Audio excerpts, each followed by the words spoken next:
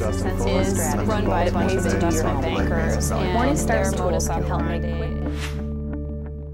I'm here with Dan Werner, equity analyst in Chicago.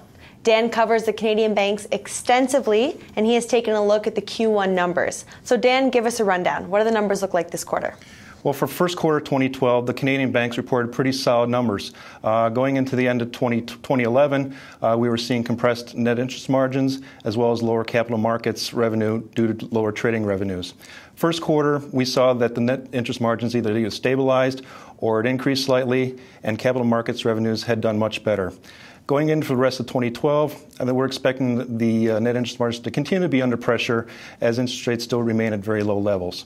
In terms of the growth of the companies, um, we saw large growth with uh, some with National Bank, uh, kind of single-digit growth with other companies such as CIBC and Scotia, and almost no growth in the Canadian in the Canadians uh, banking with uh, with Bank of Montreal.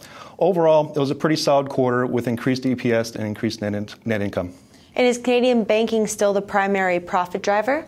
Yes, uh, from from Scotiabank, which is by far the most international bank, still has 30% of its net income from Canadian banking, to CIBC, which is more than 50% of its net income from Canadian banking. You know, over the last four years, uh, Canadian loan growth has been around 10%, and we're expecting we've been expecting that to slow down as the Canadian consumer becomes more leveraged, and we're starting to see that uh, across the board.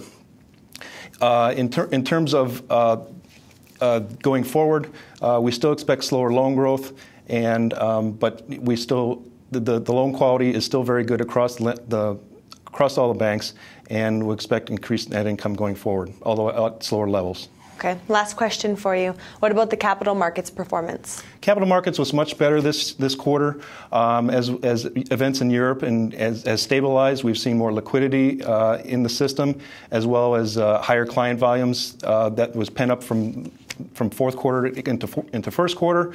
Um, much better trading revenues that, than we expected. And uh, going forward for the rest of 2012, I think we expect uh, similar uh, trading revenues and capital markets revenues uh, for the rest of the year. Great. Thanks, Dan. Thanks for having me.